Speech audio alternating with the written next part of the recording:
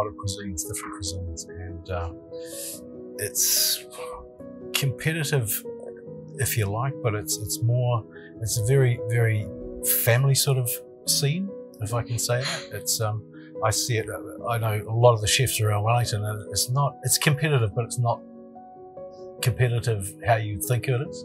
Um, you know, it's very supportive, and everyone's very supportive of each other in, in the different restaurants. And um, you know, if you you do do well, or, or a restaurant picks up, everyone sort of is very encouraging, and and you know, very always speaking highly of each other. I don't I don't see a real negative side to to the to the scene. It's always very positive, and, and yeah, chefs. The Wellington chef scene is very close and tight knit, um, and they they. Um, you know, they, they, as I say, they always speak very highly of each other. It doesn't seem to be a, a nasty, uh, you know, competitive environment.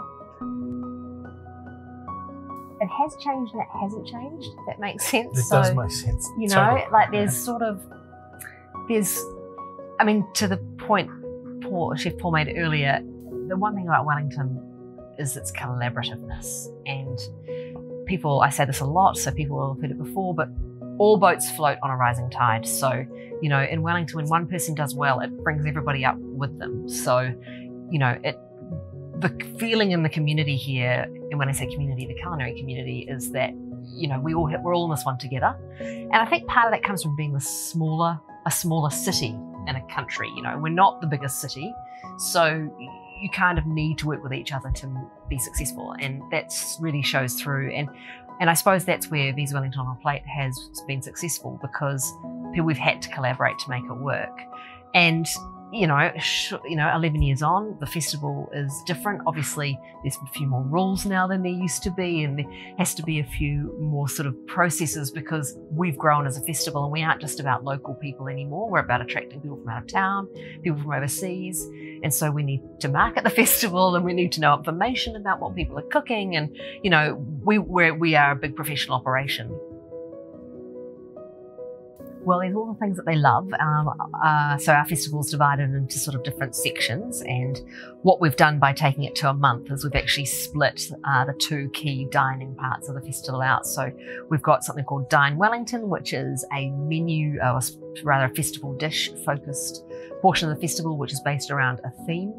Um, and this year's theme is Feast Your Senses. So it's all about playing on the senses and not just taste, because obviously you actually eat with your nose, surprisingly enough.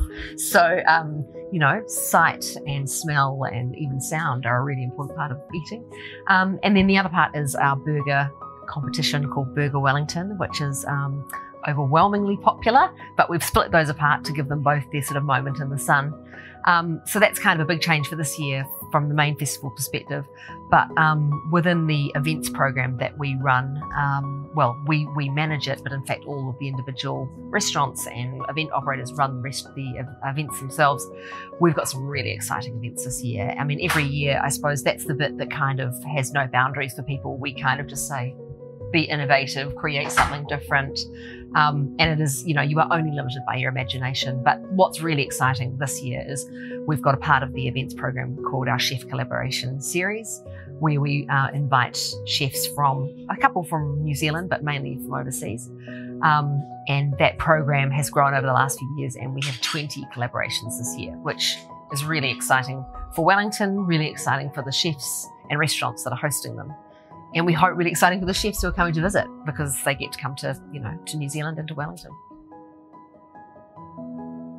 Some of the main industries that have really um, come to the fore over the last decade or two is the uh, cheese industry. Mm. That's a, that's the big one. Um, you know, producing um, goats and sheep milk cheeses, deer milk cheeses is another uh, world first actually uh, you know, to be able to, for a company down in South Island producing a, um, a deer milk gouda and, and Havarti cheese, that, that's a world first. It hasn't been commercially produced before. So that sort of thing is really exciting to me as a chef. I'm, I'm sort of highlighting that on my menu at the moment, actually, you know, the, the deer milk side of things. So there's a lot of lot of products that, that get made locally that are, that are, that are absolutely first class and quality as far as quality goes and uh, you know some of them are as good as the best that yeah. are produced overseas. So it's just fantastic to be able to work with those sort of products that are locally made and produced. And I suppose actually hyper locally, like you know, literally on your back doorstep or in the town belt.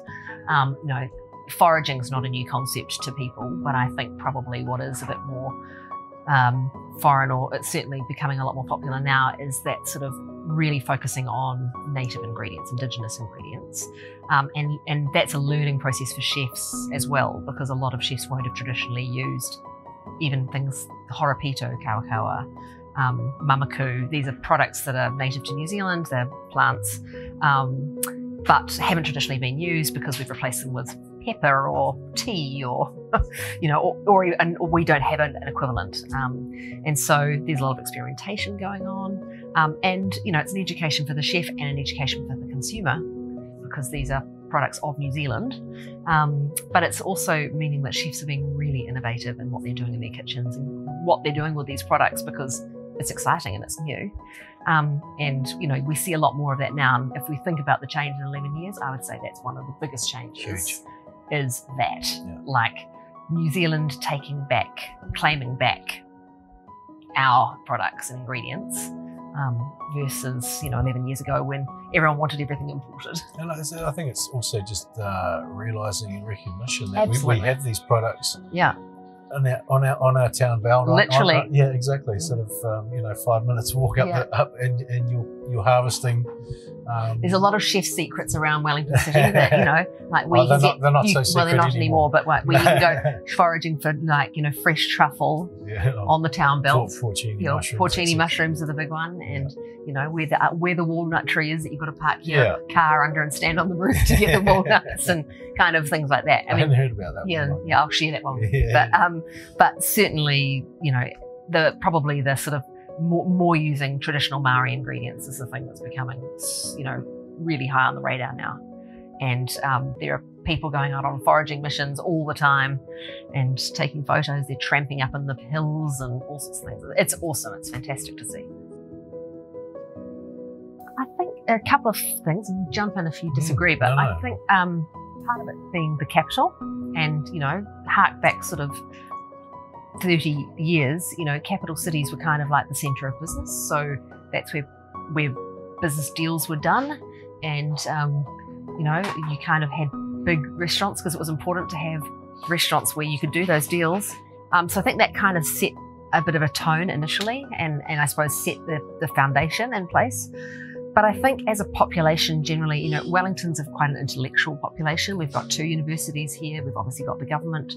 Um, you know, you've got an inquisitive mind and a well-travelled population. So there's, um, and and not only that, you've got an amazing business community here. So you know, you've got businesses like Weta, which have got I don't know how many ethnicities, but those people demand different styles of eating. They don't just want to eat one type of food. So I suppose it's a bit of a melting pot, but I think that is the reason why we've kind of developed this broad food scene because we've got the demand from our consumers who live here.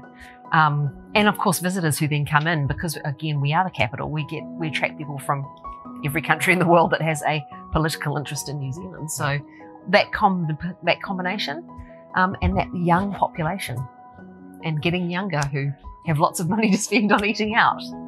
So I but think we're getting older. Yeah, getting- but- Maybe. yeah, but you know, I think that's kind of that's the reason why. Um, I mean, we're very fortunate in Wellington geographically to have this beautiful harbour, and the city is tucked into this very tight little environment, which creates a really sort of condensed downtown, and that is a very attractive thing as well. I think from a Oh, restaurant point of view. It's great. It's, it's, it's and that, you've hit a key point there. I think it's very so so central. The city's uh, within walking distance. Yeah, everything's everything's within walkable. walking distance of each other. Yeah. And uh, you know, like from get to from getting from one restaurant to another or bar to another, it's all very accessible. It's, it's all very close and tight knit, and it's uh, very, very communal. if you're very in- you know, communal. In a hotel, the options are all around you. Yeah.